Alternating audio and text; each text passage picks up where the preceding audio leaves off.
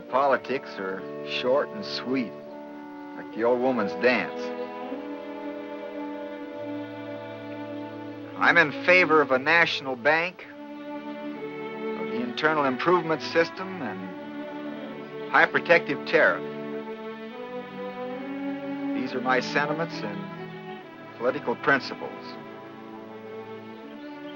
If elected, I shall be thankful. If not, be all the same.